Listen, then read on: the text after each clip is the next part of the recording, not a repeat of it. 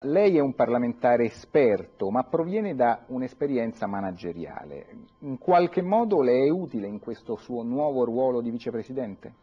Certamente, il fatto di eh, venire dal, innanzitutto dalla cosiddetta società civile eh, ci permette di portare, quando assumiamo incarichi parlamentari, innanzitutto in politica, ma adesso in carichi istituzionali, l'esperienza del mondo del lavoro, della società civile, dell'imprenditoria, in un luogo come questo che per sua natura deve essere al servizio del nostro Paese, ma al servizio del bene comune.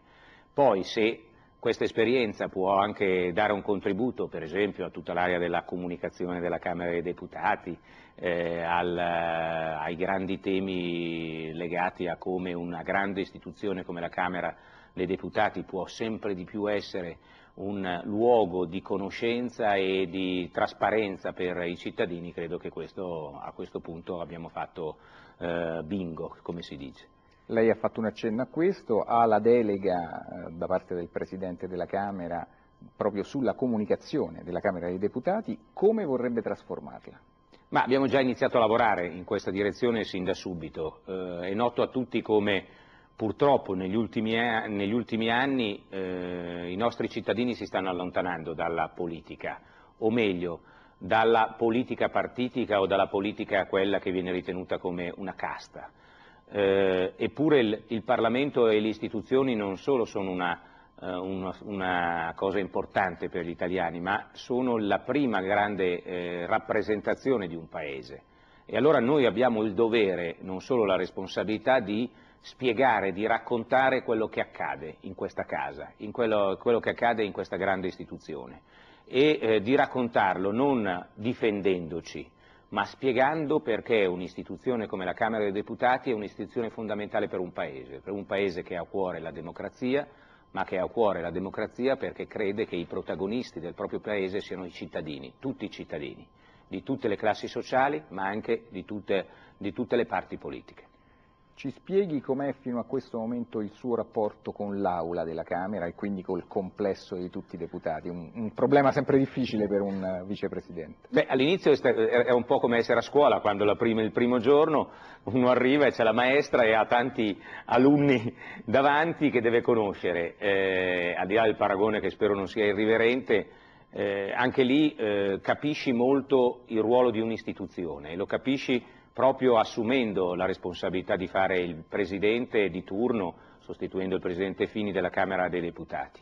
Perché in quel caso ognuno di noi viene da esperienze politiche diverse, i vicepresidenti sono proprio vicepresidenti in quanto rappresentanti di una parte del Parlamento, due devono essere di maggioranza e due devono essere di opposizione. Ma nel momento in cui tu governi l'Aula capisci che sei al servizio di tutti, che non sei sopra le parti in maniera eh, formale, ma sei sopra le parti proprio per aiutare le parti in causa, proprio perché se questo compito non è, non è presente qualcosa si inceppa nel, nel, meccanismo, ma quando si inceppa qualcosa in questo meccanismo non è quando si, come quando si rompe una macchina, è eh, una cosa molto più grave perché ha, ne è in gioco il destino di un paese e il bene di un popolo.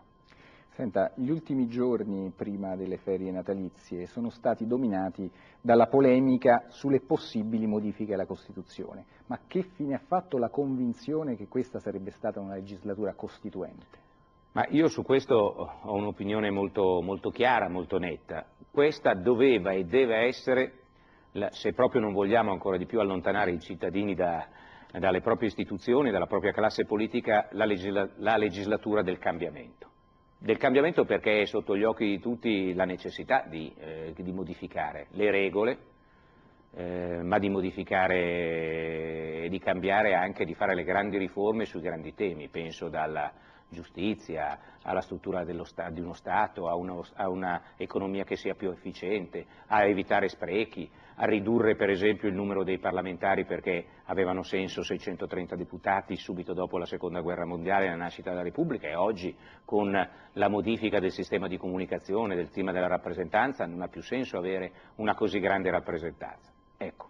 Io credo che eh, questa sfida noi la dobbiamo raccogliere, siamo obbligati a raccogliere. Sono convinto che i eh, eh, cambiamenti importanti e le grandi riforme si fanno seguendo una strada che è quella del confronto, anche serio, anche duro, con eh, in questo caso l'opposizione che è rappresentata in Parlamento. Altrettanto però questo confronto e il tema, grande tema del dialogo e delle riforme possibili non può essere ancora una volta un rimandare i cambiamenti, perché altrimenti ne pagheremo tutte le conseguenze.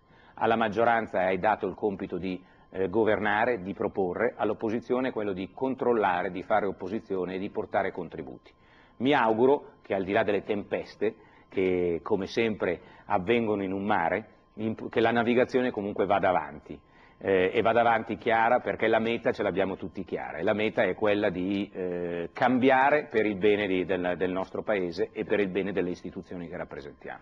Senta, l'opposizione lamenta l'uso ritenuto eccessivo dei decreti legge. Il governo risponde lamentando i tempi troppo lunghi delle procedure parlamentari. Qual è la soluzione? Beh, anche qui la soluzione è avere il coraggio di cambiare. Eh, ci sono dei regolamenti parlamentari che sono eh, obsoleti, nel senso che erano validi per vent'anni fa, trent'anni fa, oggi non sono più validi. C'è un'esigenza chiara che tutti i cittadini hanno. Chi governa non solo deve prendersi assumersi le responsabilità, ma deve prendere rapidamente delle decisioni. Pensiamo a un esempio che è sotto gli occhi di tutti, la crisi mondiale economica e finanziaria.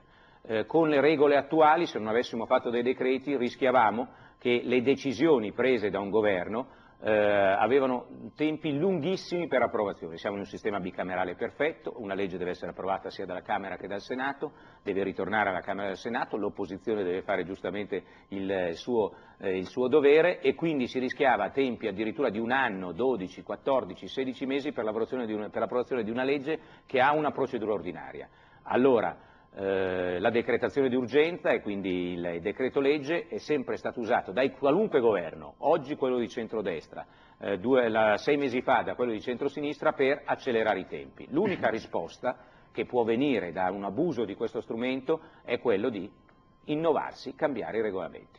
Senta, le faccio un'altra e forse l'ultima domanda, visto che il tempo a nostra disposizione sta per terminare. Lei è uno dei protagonisti del dibattito politico sulla bioetica ritiene che in questa legislatura, dopo tanti anni e tanti tentativi andati a vuoto, si riuscirà a mettere a punto una legge sul testamento biologico se preferisce sul fine vita?